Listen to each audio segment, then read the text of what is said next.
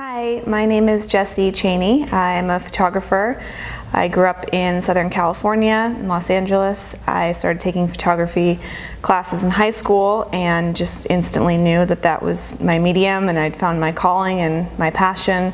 I went on to study fine art and photography at Brown University and then to do my master's in photojournalism in London at the London College of Communication. I lived there for about seven years after and relocated back to the US and have been continuing my photography journey and practice ever since. My first experiences with a camera was definitely in a high school photography class, taking photos, first assignment under the Santa Monica Pier, under the bridge, and I didn't understand why the exposure wasn't getting it correct, and so kind of getting that, that feeling and that gist of what was going on and then I just felt once I started taking pictures and developing my film in the darkroom and just seeing this image that I'd seen through the lens then come into life developing it myself I just fell in love with it and knew that's what I was meant to be doing.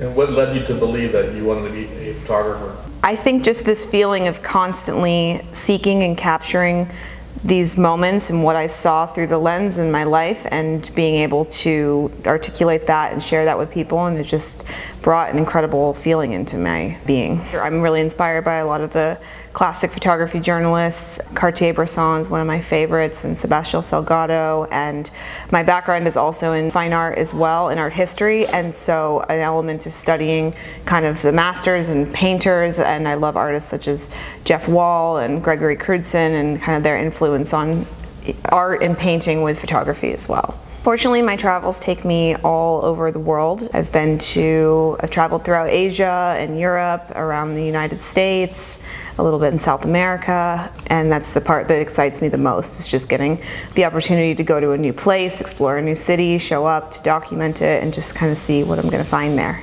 I consider myself a fine art photographer with an element of journalism and travel as well.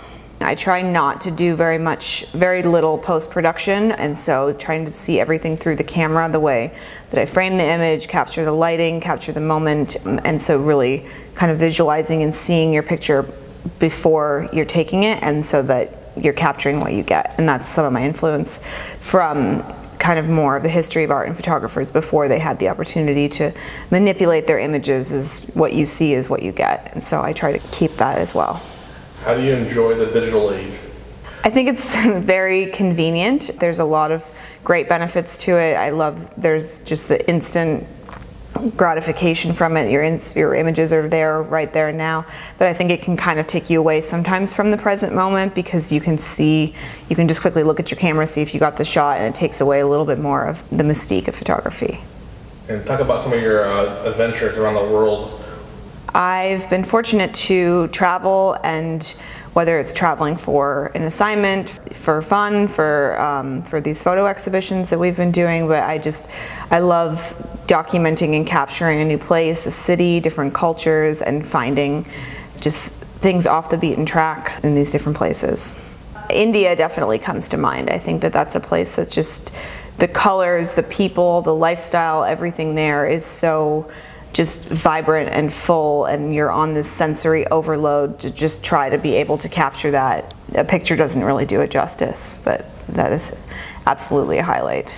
I was actually there teaching yoga and we went to, um, the students wanted to go see the Maharishi shrine where the Beatles used to live and that was the first place that I went in and I actually expected it to be this beautiful, well-maintained kind of sacred gardens is a really important spiritual place for the meditation, just kind of the history there. And it was actually just completely run down and dilapidated and overgrown and had graffiti. And I found it really so beautiful and that actually is what started this series that I've this ongoing body of work that I've been doing and I was just so drawn to the decay in this beautiful place and how something like that could be just left to kind of be overgrown and go to waste when it was something so powerful, but there was such a present energy and light and faith that was still there. So that was a important moment for me in this process.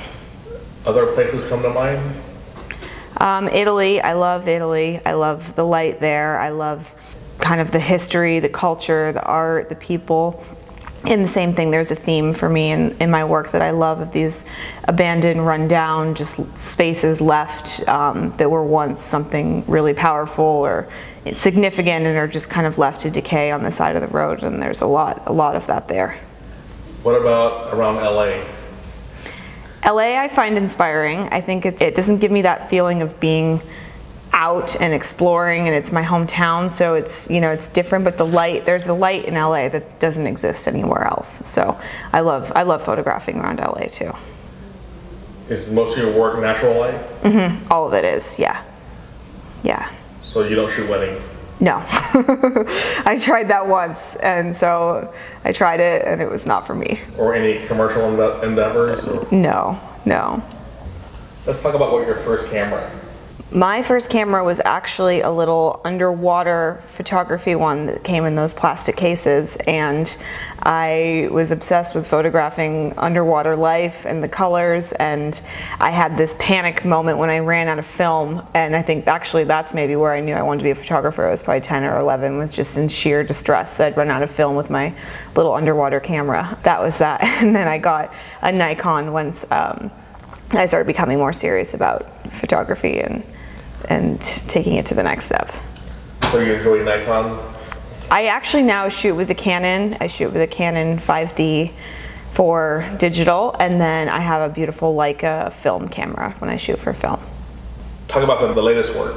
The latest work is actually this series that started in India, but it has been developing um, I'd say for about five or six years now. Uh, it's called Memory of a Space. It's about finding that energy and history and light in a place that was, you know, once something powerful or significant or, you know, maybe we don't even know, but it feels the end sense of an ending or, but finding more of like a depth and a new beginning and a light in that space all over the world really kind of i don't find them i think that they find me so i try to just make sure that i always have my camera with me and seeking that and hopefully being on, on the road or on my travels and, and finding that. Talk about future places you'd like to explore. I would really love to, I'd love to see Iceland before it changes too much. I think I actually really want to explore our, the, do a big road trip around the United States. I'd love to see the Four Corners. I'm really interested in land art and so I'd love to explore more of kind of the land art and actually what we have here in our country. I'd love to go to New Zealand.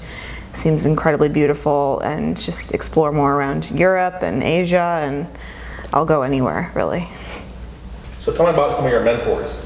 Um, my mentors have definitely been my teachers in different various places that I've studied. Uh, I think their belief in helping artists and students develop and supporting that vision in practice. Family, friends, gallery here, Chris Davies, just mentors and inspiration kind of come in a lot of different places, not always through photography, but just different areas of life. And you do the photo fairs, talk about those. I love doing the photo fairs. I think it's a great way to exhibit your work, to meet new people, to kind of have more of a international um, photography scene and I always believe that every time I do one of these fairs it leads to another amazing opportunity and something comes always exciting from it. I also used to work in the art world and in the gallery world and so it's fun. Um, I had set the intention for myself a long time ago when I was working in a gallery that I actually wanted to be the artist exhibiting in the gallery and in the photo fairs and so it's fun that that, that vision has come true now. So for someone who's considering doing a photo fair, why would you recommend doing them? It's a great opportunity just to get your work out there, to get your name out there, to talk to people, to talk about your work, to reach a broader audience, um, different collectors, just I think so many different opportunities, maybe ones that you wouldn't quite foresee, but can come from that. So it's more also about expanding your network than Absolutely. Making, making sales. Yeah, yeah. All right, tell me about your photo fair history.